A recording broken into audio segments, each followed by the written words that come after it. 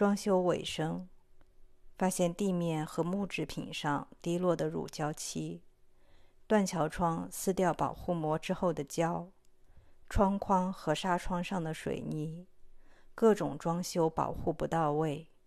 五层楼，无一漏网，无从下手，愁眉不展。老房子楼下有个家政公司，以前打过交道。老板说他们经常做开荒保洁，拍胸脯说给我派最优秀的团队，一点都不用我操心，给我搞得干干净净。他们是专业的，报价四千一轮，搞两轮。我说你先按小时算，派两个人来搞一天，我先看看效果和做事的手性。约了第二天早上八点到，等到十点。来了个老头，是老板的爹。老头带来个老太婆，倒也不是老板的娘。老板的娘带着另一帮人去别的地方做事了。然后老太婆擦窗的时候，老头一手拿着铲刀，一手举着电话，一边安排人、安排工具，一边电话里和他老婆吵架。吵完又和擦窗的老太婆吐槽老婆蠢。一边电话接单谈单，打了一个多小时才告一段落。挂了电话，他说做不动了，要吃饭。我老公正好叫外卖，就给他们一起叫了。老太婆吃了饭，掏出个梨，吃完把梨核扔我阳台上，悄悄跟我说：“早上他八点就到了，他就住在隔壁小区。老头坐公交从很远的地方来，不准他先上来。”怕我私下找他做，又问我老头收我多少钱一小时，我说三十，他说他才给我二十五。他们两个人从一面落地窗开始做，用铲刀铲玻璃上融化的胶，铲铝合金型材上面的水泥和乳胶漆。我说用清洁剂，我买了有。老头说不需要，铲得掉。我说会铲出划痕。他说：“这是钢化玻璃，硬得很。我们天天做，不会铲坏的。你相信我们专业。”我看他讲了不听，就亲自示范。我喷上清洁剂，擦给他看。我说：“你看，这样打圈擦，胶会融化的。这种乳胶漆的点点，喷了清洁剂之后能抠掉的。”他说：“太慢了。他做事就是要出成绩，不能磨客户的时间坑钱。”然后只顾自己铲，一边说他给汪涵家里做卫生，人家多满意。还有多少大老板家里都是他做的，比我家的窗户大多了。擦完主卧，我让他们去擦书房。我听到楼下有人讲话，就下去看一下，发现小区捡纸皮的老太婆跑到我家里来找纸皮。这个老太婆前几天我进家具的时候。他就来捡纸皮，我说我还要的，过几天等我检查过家具没问题，纸皮可以扔了，你再来拿。他装作没听见，只顾自己拖着几个大的就要跑，我就指着他说：“你放下，否则我喊物业来了。”他气呼呼的扔在路中间，一步三回头的走了。等我转个背，刚把家具送上楼，纸皮也不见了。我也懒得去调监控追究他了。今天又到我家里来捡，还往上爬了三层楼。我说：“你这是哪里来的规矩？还进到家里来了？”他说：“我就来问问你家里的这些纸皮还要不要的。”我说：“我家里的东西都是我要的，就算是我不要的，你也不能进我家里来拿，进门是偷。”他说：“你又没有住进来。”我说：“我东西都搬进来了，我的房子你管我住没住进来？”他说：“我又不要你东西，你住进来了，我就不会进来了。”我掏出手机拍他视频，我说：“我要发到业主群，问问这是谁家的老人，这么没规矩，还进别人家里翻东西，你不给你儿女留点脸面吗？”他骂骂咧咧的出去了。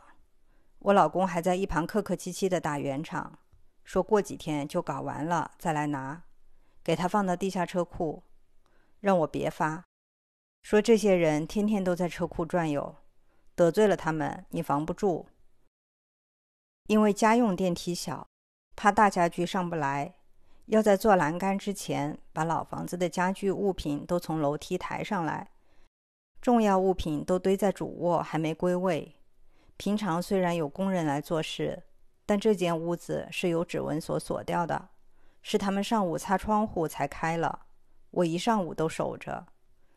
等我再回楼上去看的时候，老头还在书房擦玻璃，老太婆进了主卧，关着门。正好那几天搬家又搞卫生，我手指起皮，识别不出。敲门敲了一分钟才开门。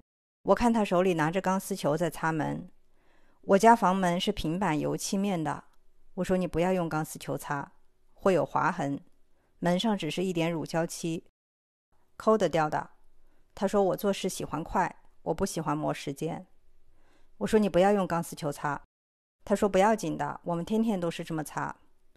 我说会刮花的。他说轻轻擦不会的。我说我喊你不要用钢丝球，你就不要用，你跟我争什么？然后他收拾工具去楼下一层了。我查看了一下首饰盒，但是吧，这些小金器、小首饰什么的，我平常也不戴，都是以前一时兴起买一点。看到了，我知道是我的；不看到，我也想不起来缺哪个。但是他瓜田李下不避嫌，无凭无据，我也不好冤枉人家，也只好作罢。然后我发现窗户玻璃上有了七八条划痕。是他们用铲刀铲出来的。我下楼，他关着门，在另一间房里，隔着门我都能听到钢丝球是以怎样的力度和速度从哪到哪。我敲开门，生气地说：“我跟你说了，不要用钢丝球擦。”他说：“你放心，不会有印子的。”我说：“窗户玻璃上已经划出印子了。”我老公听到了。就上来问我干什么？是他在用钢丝球擦门吗？门怎么能用钢丝球擦？我怕他一个大男人对这个老太婆吼起来难看，就跟他说没事没事，他就去守着别的工人做事了。我站在旁边，板着脸看着老太婆。老太婆就去找老头，说他要回去给孙子做饭了，让老头给他结账。老头说：“我晚上给你，现在我都还没拿到钱。”老太婆说：“你又不是没钱，你先结给我。”老头说：“我没有钱。”老太婆说：“你不结账，我就不走。”老头说：“你不走就不走好了。”我生怕老太婆打滚哭闹起来，好在她没有。她掏出手机，怼到老头眼前：“你少给我，你就给我嘛，给我嘛！我不相信你，你晚上不给我钱呢？你给我，我好走。”你给我按三十，你不要赚我的钱，你心太黑了。他挡在老头前面，磨叽了一刻钟，老头把钱给了他。老太婆收拾东西，招呼都没给我打就走了。老头说：“老太婆偷走了我一个铲刀和他的一瓶威猛先生，说这些搞卫生的十个有九个偷东西，他的这些工具丢了无数，说让我去检查一下。”还少了什么东西没？这一团乱麻的，我哪里能想起少了什么？但我觉得可能也不至于，或许只是老头怕我以后私下找那个老太婆接单，跳过他，所以跟我说他们都偷东西，只有他可靠。老头说他也要回去了，算了下账，两个人十点来的，一个四点走的，一个六点走的，一共十四个小时。擦了三个窗户，六扇门，一起四百二。老头问我能不能送他回家，我说我们反方向，我去西边，你去东边。他说你也可以绕一下送我。我说我赶着要去接小孩了。我说你看这些铝合金型材上的水泥和乳胶漆都没有擦干净。老头说我们是搞粗卫生的，不是搞精卫生的，我们不搞精卫生。邻居来串门参观，说起当初他家开荒保洁，家政来干了半天，刮花玻璃，讲还讲不听，他就让他们走了。后来自己慢慢搞的，送走了邻居。等门上的水干了之后，我打开手电筒照了一下门背后，全是划痕。每一道都能还原出一个愤怒的摩擦，它又圆，它又大。我想了一下，六扇门，差不多三万，一扇刮花的断桥玻璃一万多，他们干了一天，两个人分四百二，不及百分之一的价格。我扣下这些能惩罚到他们吗？能。能补偿到我吗？不能。那就是除了扯皮，我不能得到任何好处。